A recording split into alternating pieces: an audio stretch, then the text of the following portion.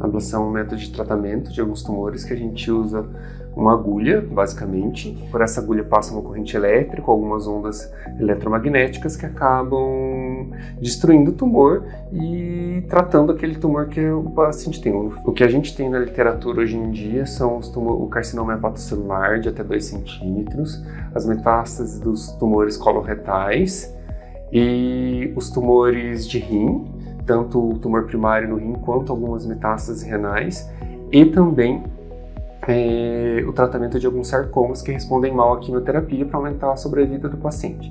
São os casos mais clássicos de tratamento com ablação por radiofrequência ou qualquer tipo de ablação.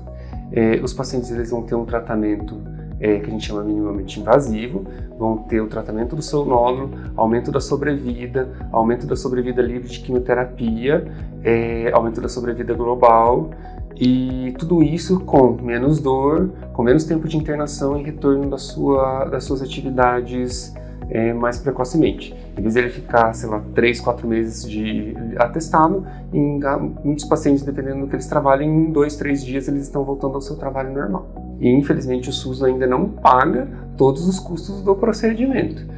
É, a maior parte dos hospitais elas, eles conseguem fazer isso com recursos próprios, no nosso caso é com, com, graças aos recursos das doações que o hospital tem, que acabam conseguindo comprar as agulhas e, e pagar o procedimento. Em média, a agulha de ablação por radiofrequência, que é essa agulha que a gente mais usa, ela custa em média 6 mil reais. Existem tratamentos mais caros que esses, a, agulha por, de ablação por microondas, que é uma outra tecnologia, ela custa entre 10 e 20 mil reais a depender da marca e da tecnologia. É, mais os custos de anestesia, de médico e todo o aparato do hospital. Em média, a gente faz 4 ou 5 procedimentos por semana. Nós somos em quatro médicos treinados para fazer o tratamento.